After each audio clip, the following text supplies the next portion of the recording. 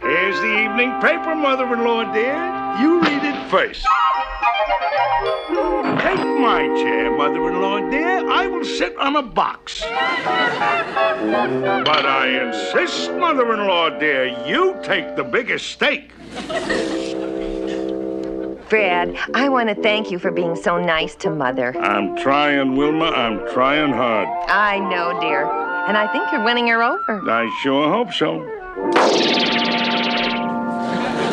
Why don't you look where you're going, clumsy? I'm sorry, mother-in-law dear. I didn't expect you to stick your foot out. I love my mother-in-law. I love my mother-in-law.